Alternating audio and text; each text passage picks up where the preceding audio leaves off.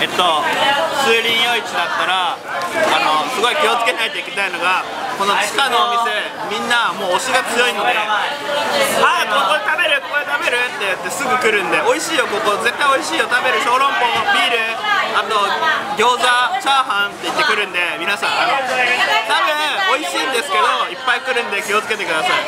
すごいです。でもみんな活気にあふれてて面白いです。こんな感じですそれでは拜拜。数林夜市からでしたあり要吗？がとうございます要不要吃一回子好不好？こういう感じです。